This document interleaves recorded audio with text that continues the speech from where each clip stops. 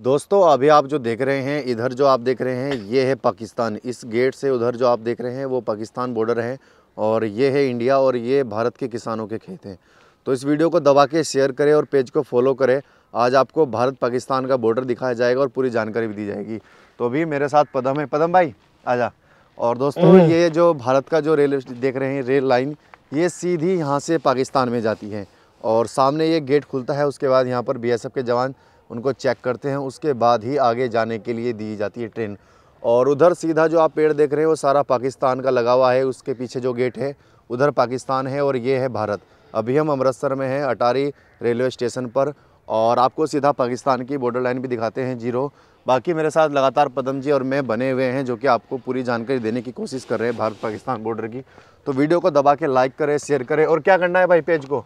Follow page को follow ज़रूर करें। ये देखिए, अभी हमने इस गेट के अंदर को जैसे हम यहाँ पे बढ़े हैं और तुरंत अंदर जाते ही, ये देखिए, आप सामने जो देख रहे हैं अभी ये गेट, जो तार फेंसिंग की गई है, इस तार फेंसिंग से उधर भारत के जो किसान हैं, उनके खेत हैं, फार्मरों के, और वहाँ पर खेती की जाती है।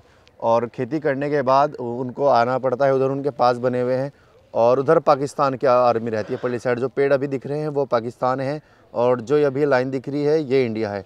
और अभी मात्र हम बॉर्डर से कुछ ही दूरी पर आए ये देखिए आप बहुत ही कम दूरी पर हैं बॉर्डर के हम और इधर किसानों ने गेहूँ की खेती अभी की हुई है। ये गाँव ये लास्ट गाँव है ये अंतिम गाँव है यहाँ पर बॉर्डर पर।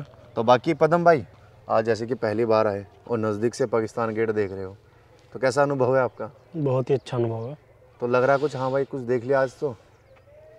हैं? बहुत बढ़िया लग रहा। बहुत बढ़िया लग रहा मज़ा आ रहा? हम्म। तो लोगों को क्या कहना चाहोगे आना चाहिए या नहीं यहाँ? आओ। देख के जाओ। पता तो लगे भाई भारत और पाकिस्तान है कहाँ तक। तो दोस्तों पदम भाई कह रहे हैं भाई एक बार ज़रूर आओ। जैसे कि हमें सीधा ये देखिए ये पूरा पाकिस्तान है इससे उधर और इधर ये इंडिया है और यहाँ पर खेती की जा रही है। परमानेंट हर आपको यहाँ पर बीएसएफ के जवान मिलेंगे जो 24 घंटे उनकी ड्यूटी रहती है यहीं पर। बाकी ये रेल का है और ये देख रहे हैं अभी आप ये जो गेट जो लगे हुए हैं ये ये गाँव में अंदर जाने के हैं इधर के और यहाँ ये रेलवे स्टेशन जो आता है सीधा पाकिस्तान का, वो वहाँ से सीधी गाड़ी यहाँ पर आती है, पाकिस्तान से। और उसके बाद पाकिस्तान की जो गाड़ी आती थी, वो सीधा यहाँ से अटारी रेलवे स्टेशन एक किलोमीटर वहाँ पर रुकती थी। फिर उनका कस्टम चेकिंग वगैरह करने के बाद उनको छोड़ दिया जाता था। दोनों तरफ़ इस रेलवे स्टेशन के दोनों देखे इस रेल के पटरी के दोनों तरफ़ यहाँ पर जाल लगी हुई है जिसमें करंट चलता है, ताकि कोई भी पाकिस्तानी इधर से नहीं आ सके। तो पूरे नियमों के अनुसार आना पड़ता है। बाकी ये देखिए, यहाँ पर बीएसएफ के जवान और उधर पाकिस्तान का वो देख सकते हैं, ये है भारत और वो है पाकिस्तान। ये बीच में गेट लगा हुआ है इस रेलवे लाइन के। जब रेल आएगी तो यहाँ रुकेगी और बीएसएफ के जवान उनको अच्छे से चेकिंग करेंगे, उसके बाद जाएँगे।